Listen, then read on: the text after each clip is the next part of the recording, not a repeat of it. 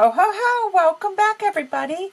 It's the Christmas in the July um, event sponsored by um, or hosted by Dawn H Creates.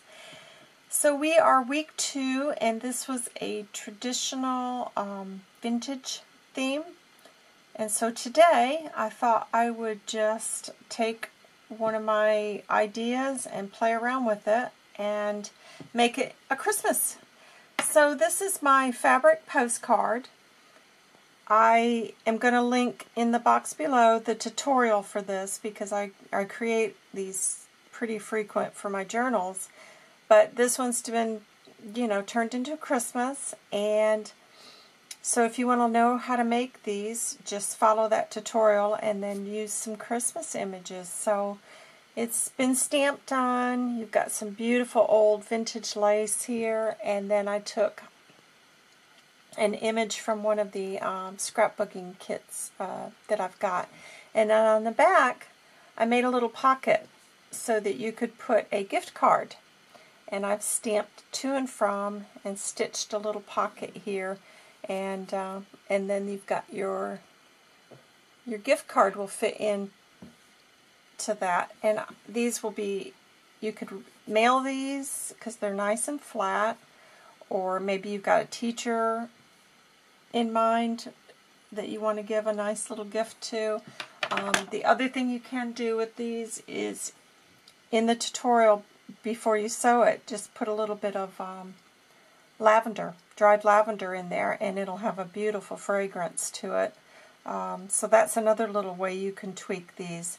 But I just think they're really, really sweet, and I love how this has come out. I, I just think it's really, um, I'm really pleased with this. So these are definitely going to be on my to-make list. I um, intend to get started on these because I think these are going to make nice little gifts this year.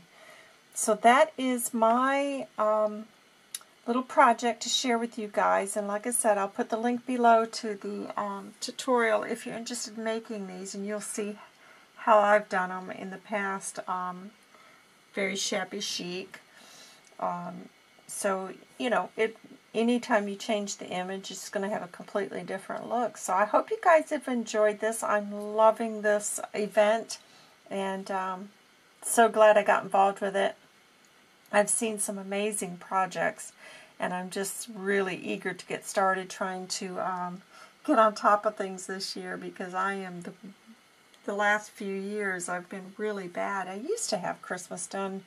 Gosh, by October I was done with everything, but I, I just don't have the time now to. Uh, but this year I'm really, really working hard to try to get uh, my cards done and uh, everything ready so that I'll be prepared this year. But thank you guys so much for stopping by today. Welcome to all my new subscribers.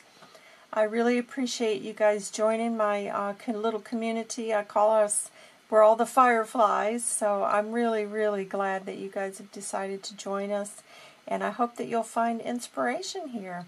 So check out the other ladies involved in this event, because there are some many talented um, participants, and you'll get some great ideas for little um, things to create this year. So you guys take care, and I will see you here next week. Bye!